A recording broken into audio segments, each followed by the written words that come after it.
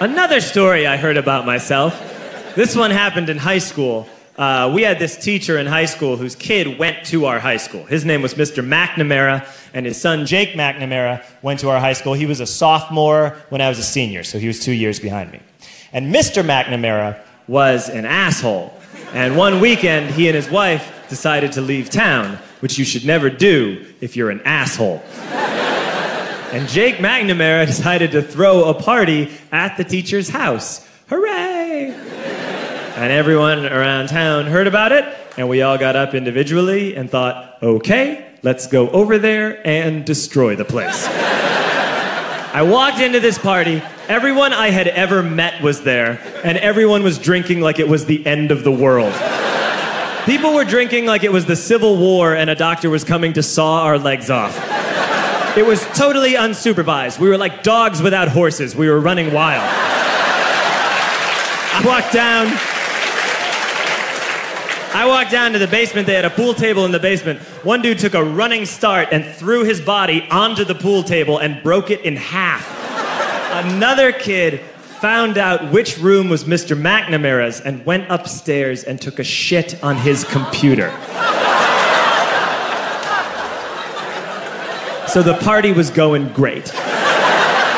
I'm standing in the basement and I'm holding a red cup. You've seen movies. And I'm standing there and I'm holding a red cup and I'm starting to black out. And I guess someone said, like, something, something, police. And in a brilliant moment of word association, I yelled, fuck the police! fuck the police! And everyone else joined in a hundred drunk white children yelling, fuck duh, police. With the confidence of guys who have like already been to jail and aren't afraid of it anymore. You know, that like, I serve my nickel, you come and take me confidence. But white children. The reason someone had said something, something police was because the police were there. So a Chicago police officer walked down the stairs and got to the bottom in the basement and looked out over a sea of drunk toddlers yelling, fuck the police, in his face. And he was almost impressed. He's like, wow. And then he leaned into his walkie talkie and went, get the paddy wagon. And my friend John, who is now a father, this man now has a baby, he grabbed a 40, smashed it on the ground, and yelled, Scatter! and everyone ran in a different direction.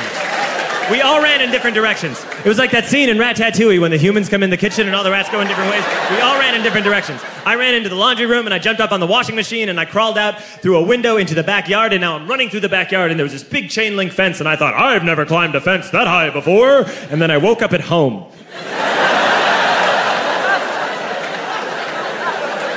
On Monday, I went to school because that's what we did back then. And I'm walking into the school building, and who do I see but Jake McNamara? And he says to me, Hey, were you at my party on Saturday? And I said, No. You know, like a liar. and he said, Things got really out of hand. Someone broke the pool table. Someone took a shit on my dad's computer. But the worst thing, he says, the worst thing is that someone stole these old antique photos of my grandmother, and my parents are freaking out about it. And I had that thought that only blackout drunks and Steve Urkel can have. Did, did I do that? I figured no, I wouldn't have done that. But I was never sure until two years later. Relax. I'm playing video games with this kid named Alex that we also went to high school with. Two years later, we've graduated by now. We're playing video games for a couple hours. And then Alex says to me, Hey, come here. I want to show you something. And he takes me into his bedroom. And then he takes me into a side room off of his bedroom. Never a good thing to have. And he shows me a tiny room that is covered wall to wall in stolen antique photos from different people's parties over the years.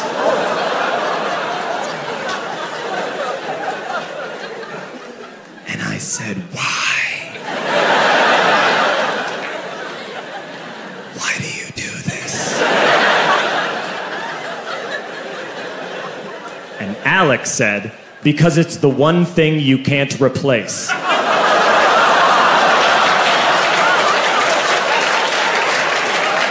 That's the end of that story, but how fucked up is that, right? That's crazy.